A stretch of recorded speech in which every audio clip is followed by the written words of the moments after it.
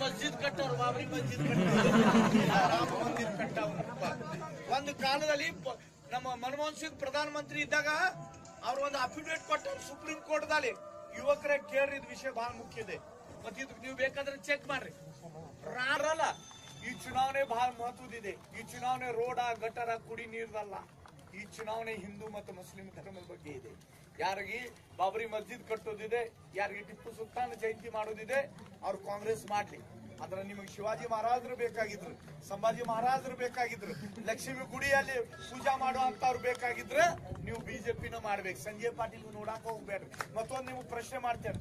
ನಿಮ್ಗೆ ನರೇಂದ್ರ ಮೋದಿ ಪ್ರಧಾನಿ ಬೇಕು